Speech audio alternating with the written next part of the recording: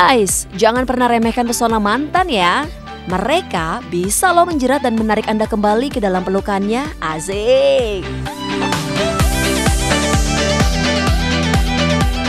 Rina Nose deh contohnya. Tiga tahun cerai dari Ridwan Federani Anwar, kini Rina kabarnya meleleh di hadapan sang mantan.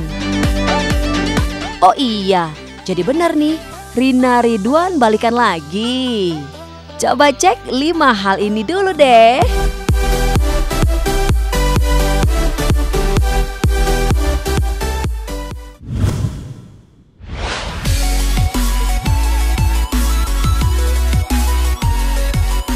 Awalnya tidak banyak yang tahu loh guys soal kembali dekatnya Rina dan Ridwan. Terus ceritanya mulai terungkap saat Ridwan ikutan di acara surprise party Rina Nose. Waktu itu sih baik Rina maupun Ridwan masih malu-malu meong gitu deh. Waktu Ridwan ulang tahun, Rina cuma memberi ucapan selamat di akun sosial pribadi.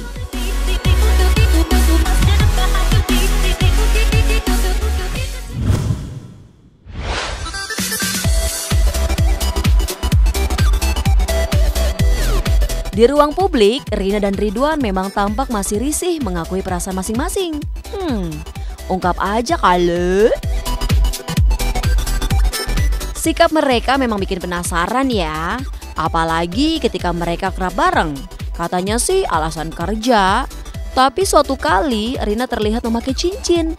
Katanya sih itu cincin pemberian Ridwan. Hmm.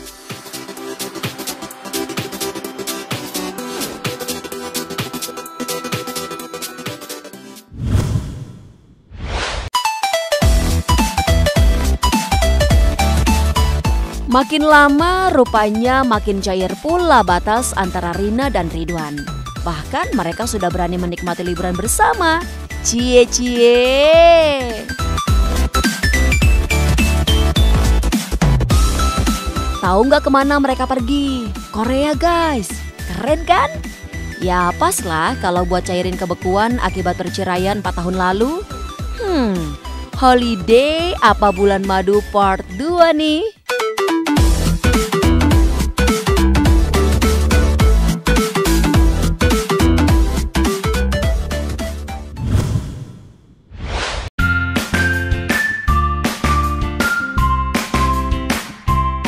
Setelah melewati beberapa momen bersama, Rina dan Ridwan makin enjoy aja rupanya.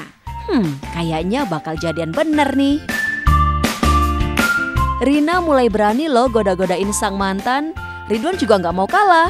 Ia tak risih lagi memeluk Rina. Yeay, katanya sih pelukan rindu.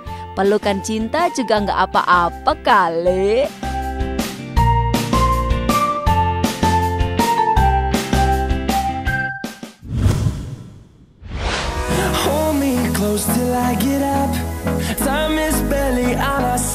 Rina bisa saja sembunyikan perasaannya dari publik, tapi tidak dari kedua orang tuanya.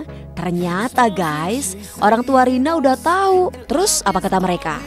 Mereka sih hayo-hayo aja. Wah, tanda-tanda baik nih.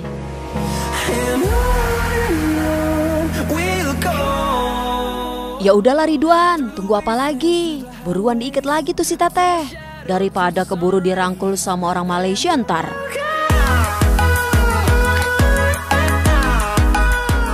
Cinta itu misteri, asik. Itu pula yang sedang dialami Rina Nose. Akankah dia rujuk lagi dengan sang mantan? Ya misteri. Ditunggu aja lanjutannya. Oke lah kalau begitu, tunggu video Cumi Tovi di episode selanjutnya. Finding life